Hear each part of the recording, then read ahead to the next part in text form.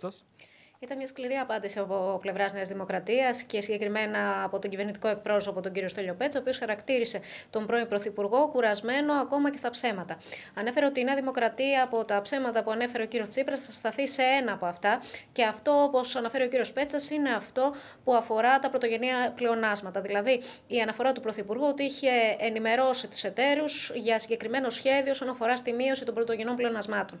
Πάνω σε αυτό, ο κύριος Πέτσα σχολίασε ότι ε, διερωτήθηκε μάλλον ότι αντί, αφού είχαν έτσι τα πράγματα, τότε ο κύριος Τσίπρας δεν το έκανε προεκλογική του σημαία.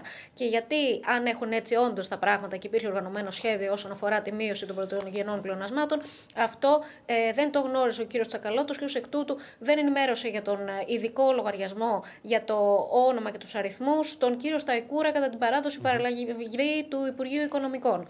Ε, σε άλλο σημείο, ο κύριος Πέτσας είπε ότι υπάρχουν ε, δύο τεινά, είτε ο κύριος Τσακαλώτος να μην γνώριζε αυτό το περιβόητο σχέδιο, οπότε ε, και, και αυτό είναι κάτι που γνωρίζει μόνο ο έμπιστος του κυρίου Τσίπρα, ο κύριος Κουρλέτης, είτε ότι ο κύριος Τσακαλώτος δεν έχει την ίδια ευχαίρεια με τον κύριο Τσίπρα να λέει τόσο χονδροειδή ψέματα, όπως αναφέρει χαρακτηριστικά ο κύριος Πέτσας. Λοιπόν. Τέλος, ε, πάλι αναφερόμενος στον Πρωθυπουργό, είπε ότι ο κύριος Τσίπρας με το λόγο του και τις θέσεις του ανήκει στο παρελθόν και ότι η κυβέρνηση τον αφήνει στο παρελθόν και συνεχίζει να εργάζεται για το μέλλον. Αυτά από τον κυβερνητικό εκπρόσωπο, τον κύριο Στέλιο Πέτσα. Να σε ευχαριστήσουμε πολύ, Ιβόνη.